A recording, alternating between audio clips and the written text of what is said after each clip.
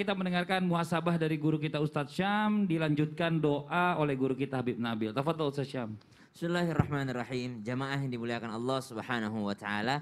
Dari segmen awal sampai sekarang kita banyak belajar bahwa ternyata bukan hanya hubungan kepada Allah Subhanahu wa taala yang kita perbaiki, tapi juga hubungan antar sesama manusia. Hablum minallah wa hablum minan nas. Dan juga para ulama juga mengatakan banyak sekali ayat-ayat kasih sayang Allah di dalam Al-Qur'an.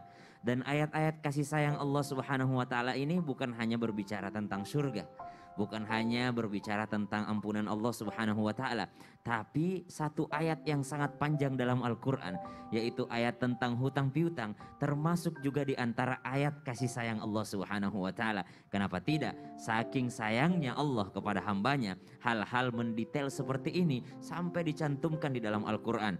Padahal banyak peristiwa penting lainnya yang bisa dibahas dalam Al-Quran. Namun ternyata Allah menyeleksi peristiwa penting itu dan memasukkan satu ayat yang panjang yakni berkaitan tentang hubungan manusia dengan manusia lainnya. Siapa yang tidak mampu bersyukur kepada manusia, tidak tahu berterima kasih kepada manusia, berarti dia tidak tahu berterima kasih kepada Allah Subhanahu wa taala.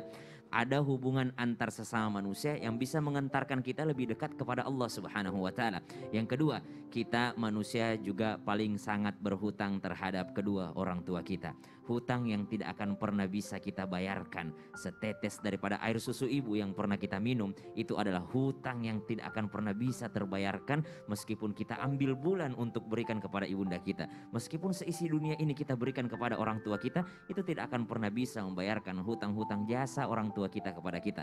Maka satu cara untuk membayarnya, ke dalam Al-Quran disebutkan, Anishkurli wali walidaik ilayal masir, bersyukurlah kepadaku kata Allah Subhanahu wa taala dan berterima kasihlah kepada kedua orang tuamu.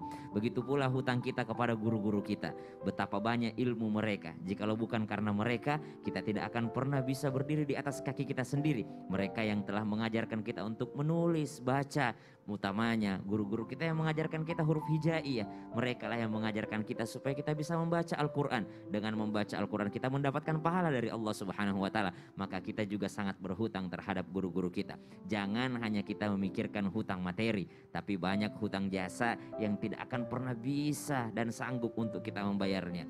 Maka teman-teman sekalian, jamaah Islam itu yang dimuliakan Allah Subhanahu Wa Taala. Coba kita ingat-ingat, pernah nggak sih kita zolimin orang lain? Pernah nggak sih kita ngambil hak orang lain? Jangan sampai satu rupiah itu yang menjadi suatu yang menghalangi kita masuk ke surganya Allah Subhanahu Wa Taala. Atau mungkin karena satu rupiah itu kita tergelincir ke dalam nerakanya Allah Subhanahu Wa Taala disebabkan orang yang kita ambil satu rupiahnya tadi ternyata sangat membutuhkan satu rupiah itu.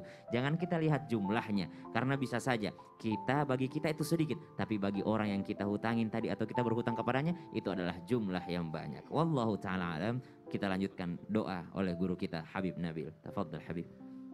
Baik.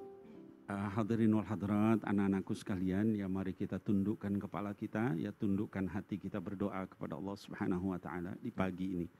Amin ya Allah ya Rabbal Alamin. Amin, amin, ya Alhamdulillahi hamdan yuafi ya ni'amahu wa yukafi mazidah. Ya Rabbana lakal hamdu wa lakal syukru amin, amin. kama yanbaghi li jalali wajhikal karim wa azim sultanik. Amin. Allahumma inna na'udzubika minal ajzi wal kasal. Ya Allah, kami berlindung kepadamu dari kelemahan dan juga dari kemalasan. Amin. Wa na'udzubika minal jubni wal bukhl. Ya Allah, kami berlindung kepadamu dari pengecut dan juga dari kikir. Wa na'udzubika minal min min ghalabati daini wa qahri rijal. Ya Allah, dan kami berlindung kepadamu dari tertenggelam dan terlilit dalam hutang dan paksaan orang. Allahumma inna na'udzu bika minal ma'tham wal maghram. Ya Allah, kami berlindung kepadamu dari tenggelam dalam maksiat dan juga tenggelam dalam hutang. Allahumma kfina bihalalika an haramik wa aghnina bifadlika amman siwak.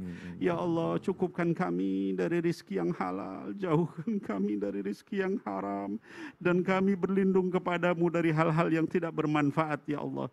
Allahumma rabbana ighfir lana wa liwalidina warhamhum kama rabbawna sigara. Ya Allah, Allah ampuni kami dan kedua orang tua kami dan sayangi mereka sebagaimana mereka menyayangi kami di waktu kami kecil. Amin ya Allah. Allahumma amin rabbana ya atina Allah, fid amin, dunya Amin ya hasanah wa fil akhirati hasanah wa qina adzabannar. Sallallahu ala nabiyyina Muhammad Amin. wa alihi wa sahbihi ajma'in wa sallim walhamdulillahi Amin, amin, rabbil ya Rabbal alamin.